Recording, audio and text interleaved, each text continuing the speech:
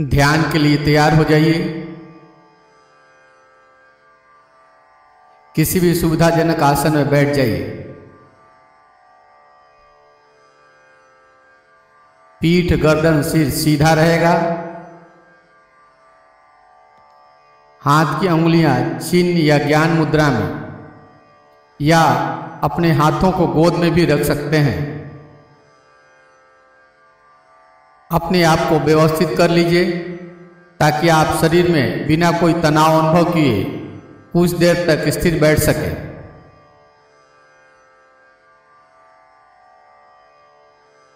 आँखों को धीरे से बंद कर लीजिए और अब अपने शरीर के प्रति सजग हो जाइए।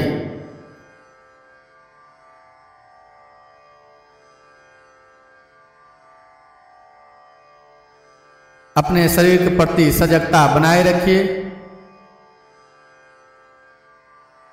संपूर्ण शरीर के प्रति सजग बने रहना है। जितना ही आप अपने शरीर के प्रति सजग रहेंगे, उतना ही आपका मन शांत होता जाएगा।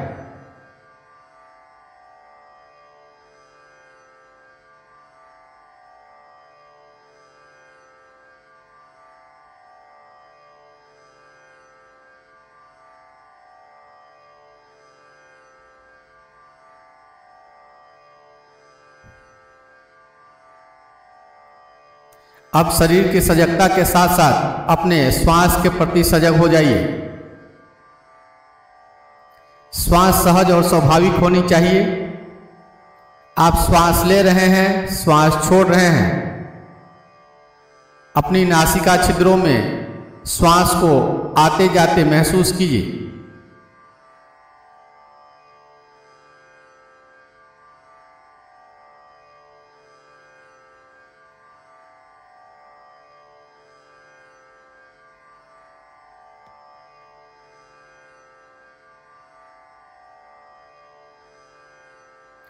जैसे जैसे आप श्वास के प्रति सजग होएँगे आपका मन शांत होने लगेगा।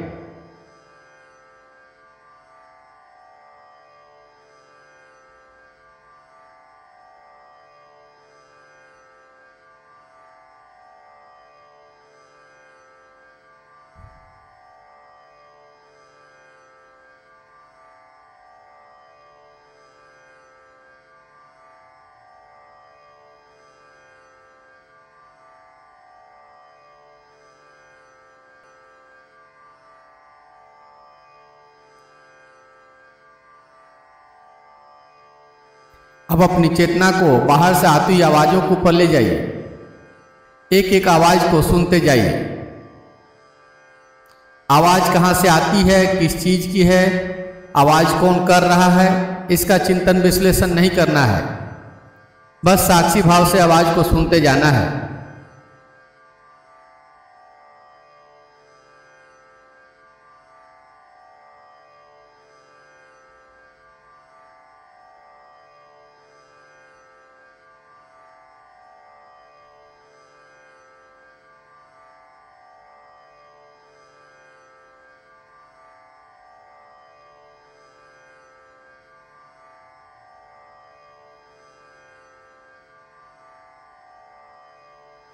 कान और आवाज़ के बीच घट रहे घटनाओं का साक्षी बने रहिए। दूर से आती हुई आवाज़ या नज़दीक से आती हुई आवाज़, किसी भी तरह की कोई भी आवाज़ हो, उसे सुनिए। सूक्ष्म से सूक्ष्म आवाज़ को सुनना है।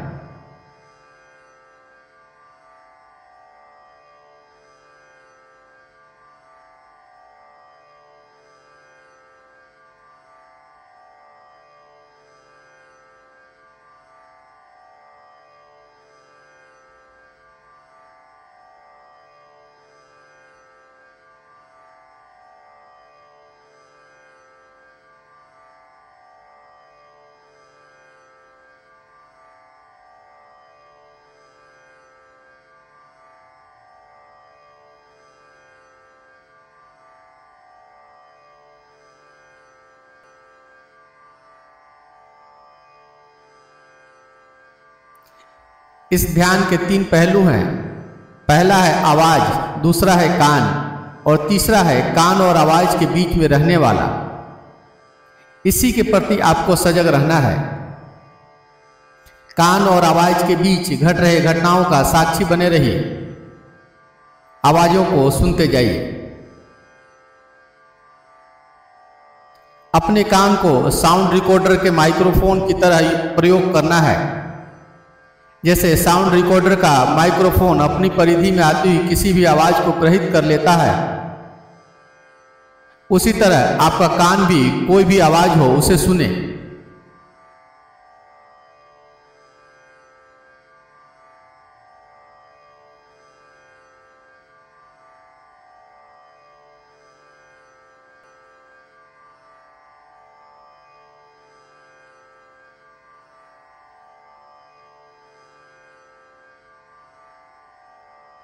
एक एक आवाज़ को सुनते जाइए। आवाजों का विश्लेषण नहीं करना है।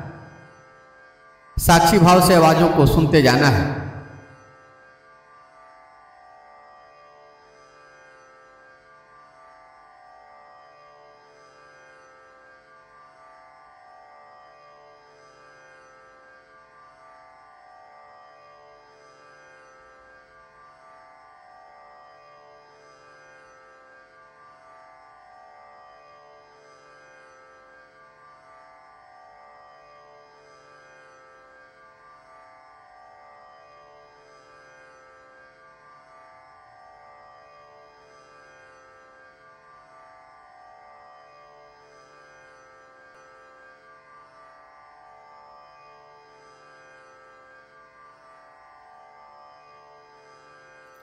अब अपने मन में आते ही विचारों के प्रति सजग बनिए।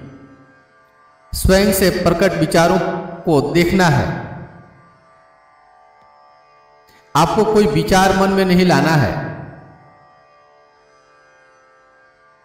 मन में आते ही एक एक विचार को देखते जाइए।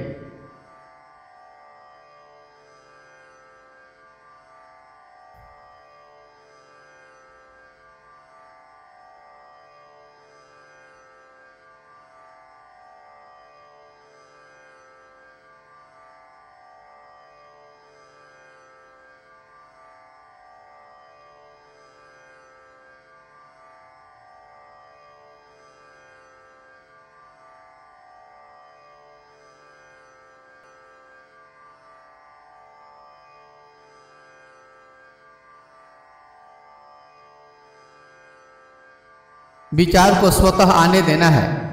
विचार चाहे अच्छे हों या बुरे, उसे रोकना नहीं है। उसे आने जाने देना है। जो भी विचार प्रकट होंगे, वह सब आपके अंतर्मन की गहराइयों से ही आएँगे। बस उन विचारों को साक्षी भाव से देखते जाइए।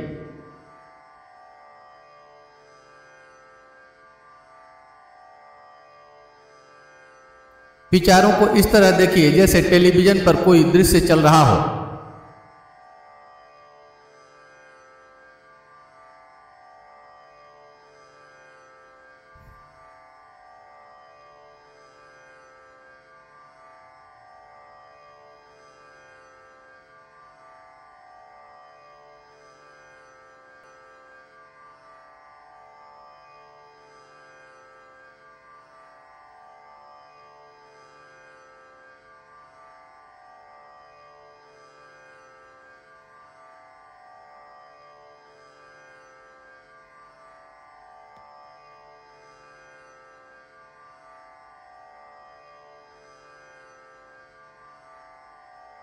मन में आते हुए विचार को देखते जाइए। ये सारे विचार आपके आंतरिक व्यक्तित्व की ही अभिव्यक्तियाँ हैं। इसे देखते जाइए। सजग बने रहिए एक एक विचार के प्रति।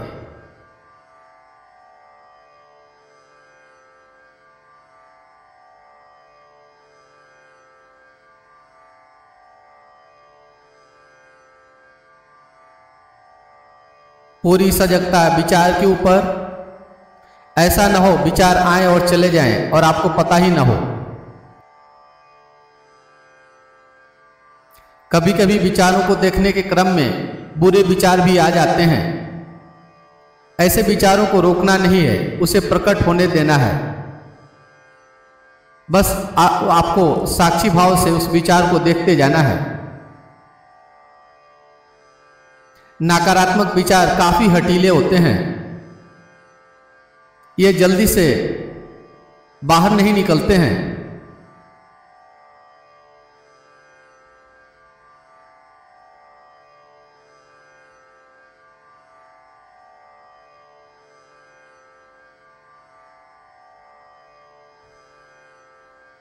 कभी कभी ऐसा भी होता है विचारों को देखने के क्रम में कि कोई विचार ही ना आवे।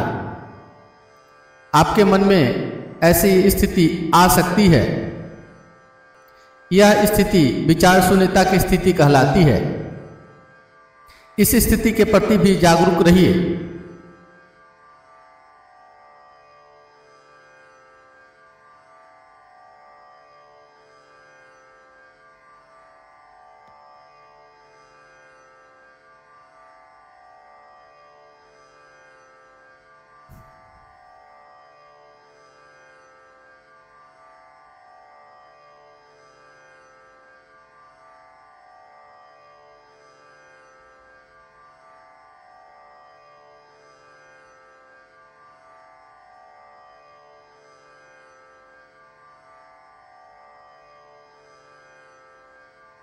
विचारों को देखते जाइए।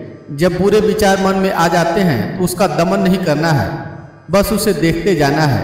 नहीं तो ऐसे विचार दोगुने बेग से फिर से प्रकट होते हैं। ऐसे विचार काफ़ी हठीले होते हैं। सभी तरह के विचारों को दृष्टा भाव से देखते जाइए। विचारों को आने जाने दीजिए।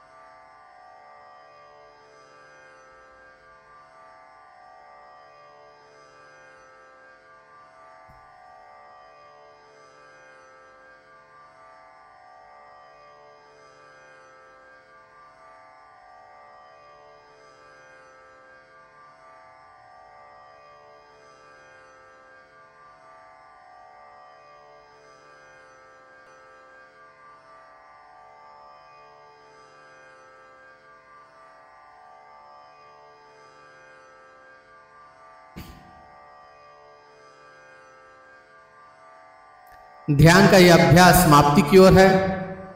अपनी चेतना को फिर से बहिमुखी कीजिए। बाहर से आती आवाजों को सुनिए।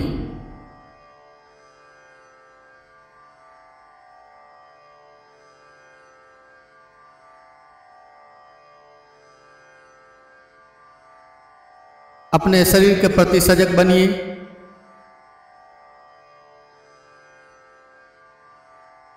अपने शरीर को मानसिक रूप से देखिए।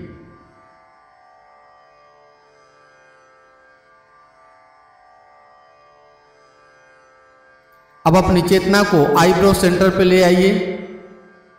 आईब्रो सेंटर पे एक दिव्य ज्योति का अनुभव कीजिए।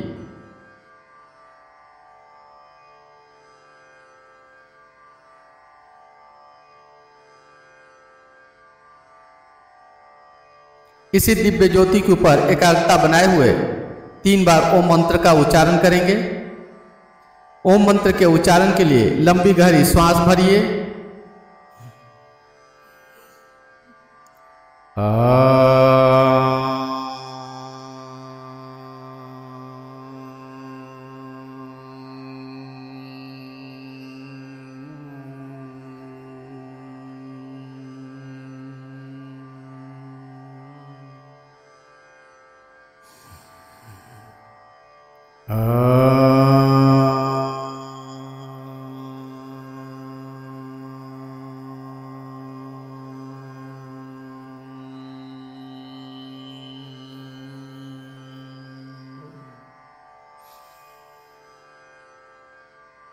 आँखों